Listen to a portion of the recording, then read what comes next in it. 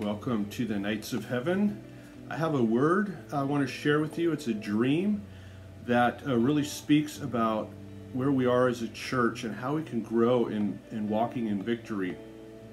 And uh, bear with me as I share this dream. It's very symbolic, and so I'm going to get into the interpretation. Uh, in this dream, I I was watching like a, a news channel or some kind of documentary about electricians and it was saying that electricians are losing money because they are buying everything with checks. And it was almost like they were going and, and, going to many different places to get parts for their businesses and they were using checks in this in this dream. And and they and this documentary said electricians are pretty much all uh, losing money and they don't even know about it right?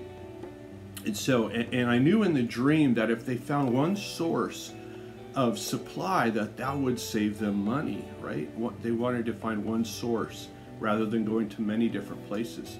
And so that was the dream. And, I, and when I woke up, and, and he, I'll get into a little bit about interpreting dreams as well in this video because, you know, God gives us dreams to speak to us. And, and one of the reasons I knew this was a dream from God, it was because it was so weird.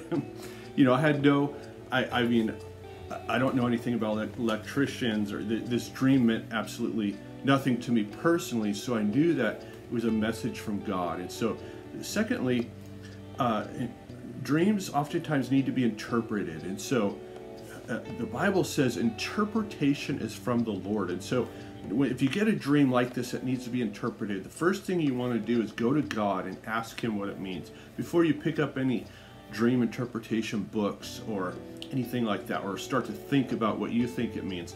Ask God. Interpretation is from the Lord. And so I asked God, and, and He began to show me some things. And so, number one, I feel like the, the electricians were pe are people that deal with power, right?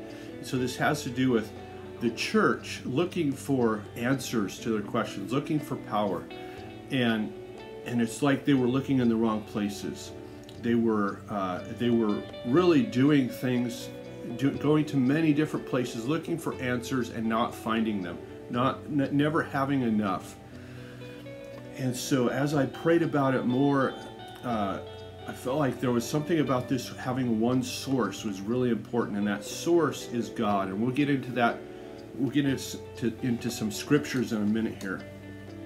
But uh, these electricians in the dream were were going around uh, and, and, they didn't even realize that they were losing money. And a lot of Christians don't even realize that they are running on empty, so to speak, right? And we'll talk about how we can get oil in our lamps. Well, electricians are the modern day people, they give us light, right? And, and the church needs light. Jesus said, You are a city on a hill you cannot be hidden. Do not put your light under a basket, right? So we are called to shine the light, but our light is dim because we don't realize where the power comes from. Okay, so let's look at this scripture, Isaiah 28, verse 20. It says, For the bed is too short to stretch out on, and the covering too narrow that he cannot wrap himself in. Okay, so what is this a picture of? It's a picture of us trying to uh, trying to sleep or rest in our own strength. That we, we've made this blanket, but it's too small. It doesn't cover us. We've made this bed, but it's too small. we can't sleep on it. And so it's a picture of us trying to do the work of God in our own strength. And it's never going to work. It's never going to be enough. And so, what are some things that we go to for strength that are never enough? And, and some of the negative ones are, are entertainment. You know, people go to uh, to uh, to movies or games. People go to sometimes even more negative things like pornography or or the attention of other people. And but there's also some positive things. Sometimes we go to the pastor. Sometimes we go to books or seminars or conferences, thinking that we're going to get life out of them. And those are all good things. But life only comes from one place, and that is spending time with God in the secret place of prayer spending time with God. We need to receive our strength and our power from God. Okay, let me share it with you a, parable that Jesus talked about. It's the parable of the ten virgins.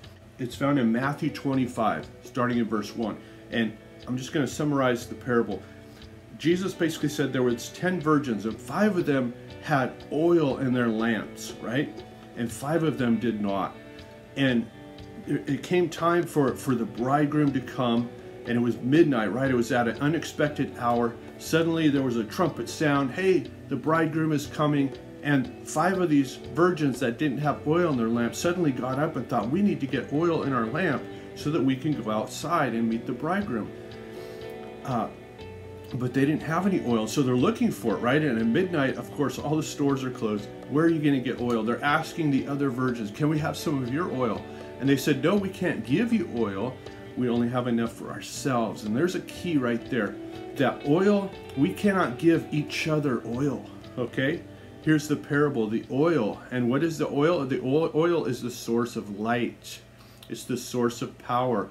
Okay, so you can't get oil from other people. And so oftentimes we try. We try to get oil from the pastor, from, from a conference, from a book.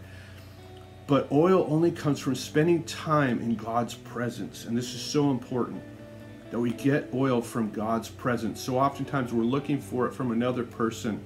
And God's saying, Come to me, spend time with me in my presence, and you will have oil in your lamp. And then you will begin to shine. And it's so important more than ever, we need Christians to be shining their light in this dark world. Uh, but so many people don't even know that they are deficient in oil because they're looking in all the wrong places. Now, I'm going to pray for you uh, that God would begin to lead you in how to shine your light and how to get oil in your lamp. It's so important. A lot of people are going to find that, oh man, God's beginning to move in the earth and they're not ready for it. Okay, so one more scripture, Galatians 5:16. It says, "I say then walk in the spirit, and you will not fulfill the lust of the flesh. For the flesh lusts against the spirit, and the spirit against the flesh, and these are contrary to one another, so that you do not do the things that you wish. But if you are led of the spirit, you are not under the law." And the law is those works of men where we're trying to do the things of God in our own power. It's that blanket that won't cover you.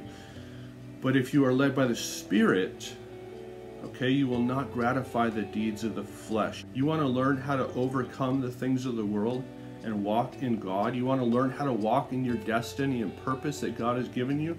Learn to walk in the Spirit. This is so key. And it starts in that secret place. It starts with knowing God, knowing His voice, knowing His presence, spending time with Him every day. It's so important. And some of you have a great destiny to shine the light of Christ, to change the world around you, to change people, to lead them to Christ. Uh, and the only way we can do that is when we get our source uh, from the King of Kings and the Lord of Lords. I want to pray for you. So God, we just pray, I pray for everybody watching this today, God. I pray that you would lead them and guide them in how to have oil in their lamps, how to spend time with you, how to have an effective, quiet time, how to develop a relationship with you, the living God. God, I pray that you break off any uh, any uh, ties with earthly things, trying to get life out of dead things. God, trying to get attention from people that does not satisfy. All these things, I pray that you break them off. I pray that you break off any ties, any strongholds, any any addictions right now in Jesus' name. And we pray that you raise up bright and shining lamps in your church today, Father God. Amen. Hey guys, uh, one last thought. Uh, because we're talking about having a relationship with God and how important that is. We need people too and we need one another. I'm not saying don't go to church. You know, church is really important because that's where you begin to take these things that God has shown you and give them to others, and they give to you, and we give to one another, and that's how we are built up. But it starts that that that encouragement that you give to others starts in that secret place of prayer. So I want to encourage you, be praying this week, and uh, that way when you go to church, when you go to school, when you go to work, wherever you go, you're going to have something to give to other people. And that's what it's all about. So, hey, bless you guys.